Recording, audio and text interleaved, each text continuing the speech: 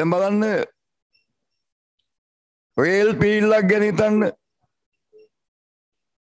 ගණමාධ්‍යයක්නේ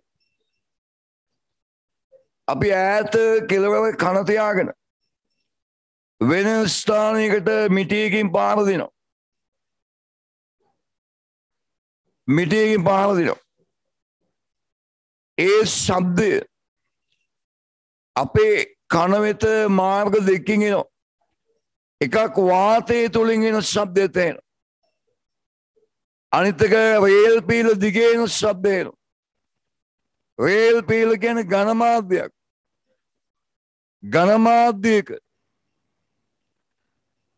ශබ්දය ගමන් කරන ප්‍රවේග අපි දැනගන්න ඕන. ගණමාධ්‍යයක්